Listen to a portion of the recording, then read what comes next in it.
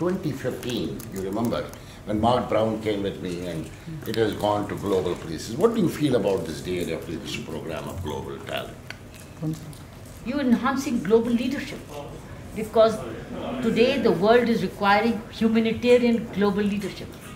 You see the kind of violence and strife which is going on, the solution is nothing but humanitarian leadership in every nook and corner of this world. So the more you enhance it, the more peaceful the world will be. So you're playing your role in making a world more peaceful and more productive.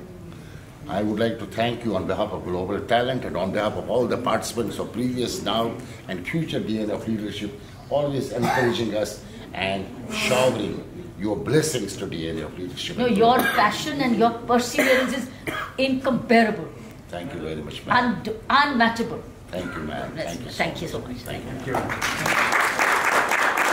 Mahapatra.